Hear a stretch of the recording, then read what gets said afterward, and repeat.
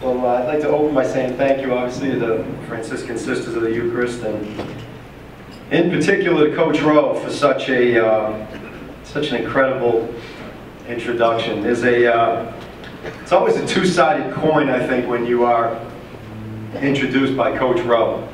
Um, the good part is you're never ever going to be introduced as eloquently and as articulately and with as much charm and grace the rest of your life. Uh, the bad part is you have to follow him at the microphone. and it's an impossible act to, uh, to try to follow. Um, I'd like to recognize um, Mother Shaun and the uh, revered clergy and our other award winners tonight, obviously, Mrs. Kuhn and um, Kevin Ollie, our honored guest, Coach Calhoun, Coach McInerney, uh, our chairman, Mr. Bob Fiondella and Ray Peach, um, and our MCs, of course, Alan Tony, who do a terrific job. Um, when I first heard Coach Calhoun start to talk to His Eminency, the Cardinal, about his specialty being crisis management and conflict resolution, I had this strange vision of sitting on my couch watching the UConn game next year and seeing the Cardinal between Coach and Jim Burr on the sidelines, resolving a conflict in his own inimitable way. This is a tremendous honor to receive the St. Francis Award from such a special group of people. I've been coming to this sports banquet, I think, for about 10 or 12 years now.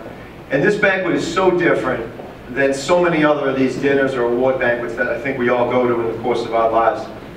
Uh, like Kevin mentioned, and I think this is one of the first couple times Kevin's been here, there's a sense of inspiration when you come here. Everybody says the same thing upon their arrival and when they're leaving. It's such a great night. People look forward to this night. Most banquets, it's a race, you know, to the parking lot at the end of the night. But this night is always special. I always leave here feeling inspired.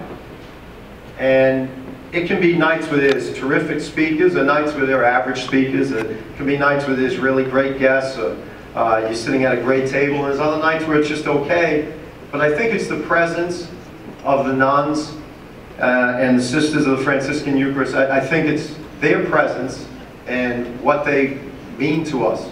And just seeing them, being around them, I think brings that inspiration.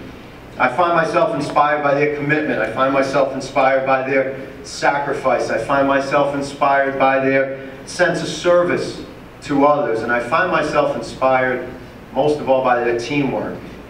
And as I sat here thinking ahead of time what I wanted to talk about tonight, I started to think these are the four traits that I think as coaches we all look to build in our teams, whether it's Coach McInerney in the football field or Coach Dickenman or Coach Calhoun, myself, anybody, Coach Fabry and, in the basketball court. These four qualities qualities we're always trying to exhibit in our teams. That sense of commitment, that sense of sacrifice, that sense of service to each other, and that sense of teamwork. You get great examples of that uh, here tonight. Um, when we, they give their lives to striving to maintain the dignity of every human life. Uh, I would dare say those are certainly lives well lived. It reminds me of a famous quote from Winston Churchill he said, we make a living by what we get, but we make a life by what we give. And no one is more giving than this organization. Um, I'll try to be brief here. I have so many people tonight that have been such a part of my life that I'd like to thank that are here tonight for just teaching me, supporting me, molding me into the husband that I am today, the father I am today, the son I am today, and the coach I am today. Uh, 13 years at UConn, to be able to have players like Kevin Ollie. Um, you know, Kevin, I echo the sentiments of Coach Calhoun, and I echo the sentiments of Coach Rowe. I was only fortunate enough to be one year with you, uh, your senior year, but I cannot describe to you the sense of pride um, that all of us as coaches at UConn, who worked with you for any length of time, how much pride we took from following your NBA career, how you forged a career of 13 years based on your will, your determination, and your character, um, you're never going to see men more proud of somebody than you when you were on that journey. Um, mentors at UConn, like Coach Rowe, who taught me lessons then from the very first day when he heard there was a kid from Worcester on the staff. And he sought me out, and I didn't know what I was doing. I was coming or going. The first day I was hired was the day before practice started. And uh, I was getting, ironically, a funny story. Mrs. Calhoun will remember this, and I know Eileen will remember this. I got hired on October 14th, 1994. And I was expecting my Division III practice to start November 1st, 1994.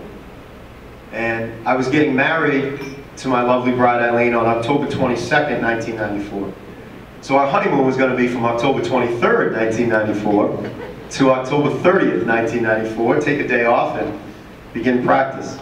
I get the UConn job on October 14th, 1994. Practice at UConn starts October 15th, 1994.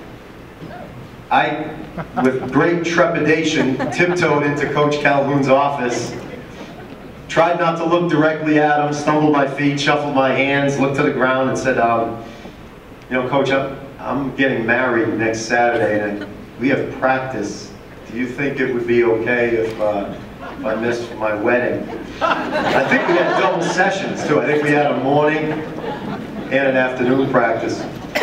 Coach didn't answer for a while, and every second that went by, I got more and more nervous about gonna have to make a decision um, on my career or my or my uh, marriage. And he nicely, I think he made me think about it for a couple days. And Mrs. Calhoun uh, twisted his arm and said, "You stop it! Stop putting him through that." And, um, um, anyway, uh, Coach, Coach Rowe, again, thank you for teaching me all the lessons you've taught me throughout the years. Your friendship is, is cherished by me, and uh, all the lessons you've taught me about basketball, family, life are uh, much valued. Uh, administrators there at UConn, like Jeff Hathaway, as good a person and as good an athletic director as you're going to meet in college sports.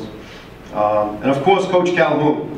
Uh, spending 13 years with him, he taught me so much, everything I know about the game of basketball, uh, everything I know about coaching, certainly everything I know about competing, uh, everything I know about work ethic, about managing people, about problem solving. Uh, Coach, as always, thank you for your trust and uh, providing me the professional opportunity of my life. Um, I'll, I'll, never forget it.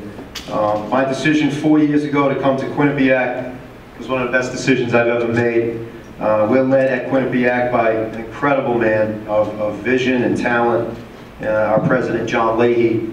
My athletic director, Jack McDonald, who's here, here with his wife tonight, Linda, uh, provides me and my staff with absolutely everything we need to be successful ever since the first day I've been there. Jack, thank you for your enthusiasm and your commitment to my program. Uh, Billy Mecca, our senior associate AD, um, thank you. I think he might have uh, he might have cut out with the Cardinal. I'm not sure, but um, he's become a trusted advisor and, and more importantly, a, a valued friend uh, to me and my families. My four, I'd like my four assistants to stand up if they could. Um, they're sitting all at this table. Just if those four guys could please stand up. Sean Doherty, Eric Eaton, Scott Burrell, and John Yardy, they are the backbone to what we do. All four of them future Division One head coaches, no doubt. Uh, also, thanks to my other friends. I see a lot of familiar faces from Quinnipiac here, and I will appreciate Lori Landino and everybody from our office coming out, too, as well. Uh, my parents, Tom and Irene Moore, uh, provided me, they're here tonight too as well, they provided me with a incredible childhood filled with love and laughter and uh, they gave me the moral compass uh, which has guided me throughout my whole life. Uh, and finally my wife, Eileen, and my daughters, Elizabeth, Catherine, and Caroline. Um, I guess I have to mention our son too. We have a son. Uh, he's a cat. He's a male cat named Cupcake. but we're not, he wouldn't be tough enough to play for Coach D at Central, I know that. But we'll leave Cupcake out of it for now. But um, Elizabeth is not here tonight. She's on our eighth grade field trip to Washington, D.C. But you four obviously are the shining stars and the bright lights of my life. Eileen, the best wife, and uh, girls, the best daughters any man could ever hope for. Love you all more than you'll ever know. Um, I'd like to close tonight by, by, by challenging all of you if I could. I'd like to ask you, please allow yourselves to be inspired by these incredible women that put this evening on tonight. Please allow yourself to be moved by these incredible women. Please allow yourself to be changed by these incredible women that put this dinner on tonight. There's a great quote from Robert Kennedy, which I think sums up the work of these women. He said once, let us dedicate ourselves to what the Greeks wrote so many years ago. Let's dedicate ourselves to taming the savageness of man and make gentle the life of this world. And I think I speak on behalf of everybody here tonight. I'd like to say thank you to all the nuns and all the sisters of the Franciscan Eucharist. Thank you for making gentle the life of this world. Thank you.